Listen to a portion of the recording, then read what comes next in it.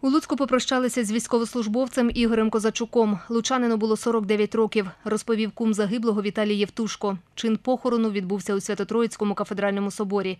Віддати останню шану воїну прийшли рідні, друзі, лучани. Ну, Спілкувалися дзвонками, він приїжджав часто до нас. Я позвонив, він сказав, я думав, що він матера. Позвонив, він каже, що я воюю. Одну війну пройшов, він раніше в Єгославії служив. Тут, на Україні. Був, поки були тут, то частіше приїжджали, а коли вже їх туди відправили, то вже ні. Ігор е, це тато моєї випускниці. Я класним керівником була в Юлії Козачук. А зараз я навчаю його меншу доньку Іринку.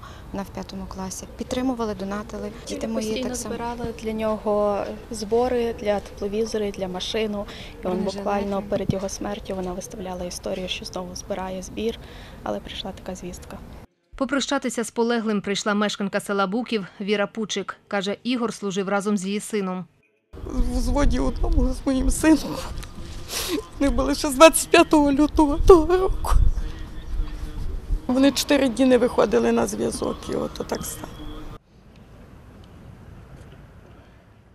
Старший сержант Ігор Козачук загинув 18 травня під час виконання бойового завдання поблизу населеного пункту Часів Яр Донецької області, розповів військовослужбовець Михайло. Каже, служив разом з ним з перших днів війни. Спочатку були на границі з Білорусією стояли, потім ми виїхали на Бахмут. Стояли в обороні, зачищали посадки, ну як обична піхота. Ми їхали на позицію, з Бахмута їхала броня, ми її не бачили, били по ній. І ми просто влетіли в цей обстріл, висів дрон, броня проскочила, а нас присанули конкретно.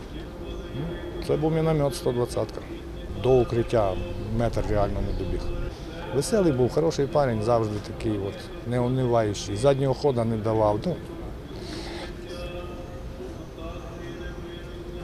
Це був боєць. Після завершення чину похорону домовину з полеглим бійцем пронесли театральним майданом. Поховали Ігоря Козачука на алеї почесних поховань на міському кладовищі у гараджі. Оксана Кот, Олександр Ватащук. Суспільне новини. Луцьк.